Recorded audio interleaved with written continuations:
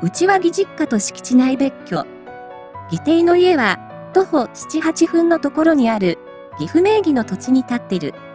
義母が、人を集めて手料理でもてなすのが好きな人なので、月に2、3回は、義理家族と一緒に食事する。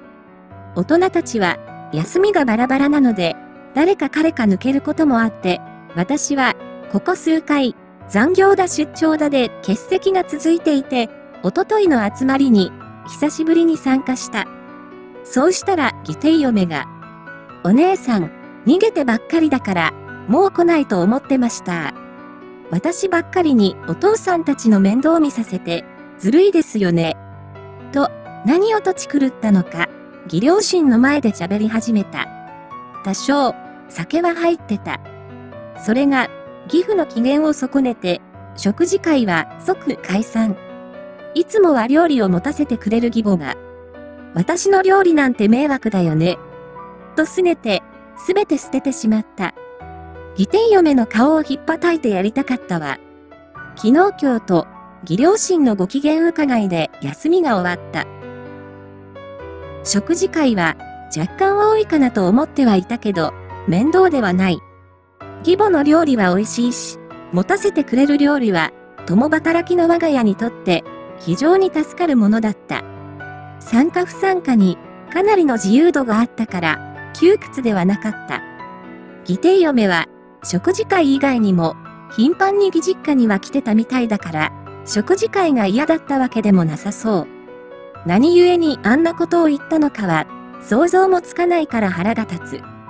義両親は、義弟嫁ちゃんは酔っ払ってたしね。と、一応、水に流してくれた様子。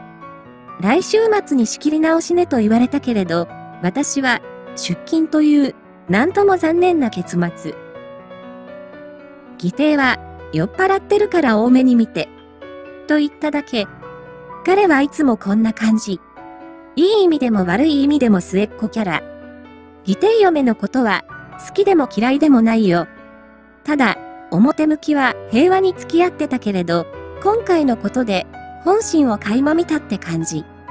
特に謝罪もないし、義弟夫婦は、土日は義実家には来てないから、何を思ってるのかは知らない。近所に住んでる弊害ってやつですかね。です、ありがとう。義弟嫁がどう思ってるのかは、よくわからないけど、普段からランチしに来てるらしいから、食事を嫌がってるとは思えない。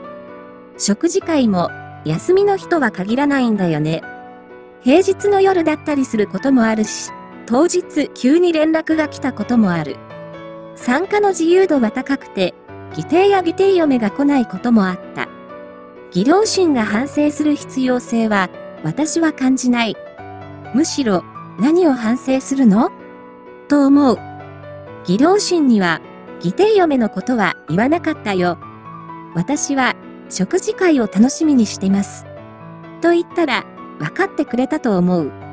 夫も、酔っ払いのたわごとだと思ってるみたいだから、今は、あえて何も言ってない。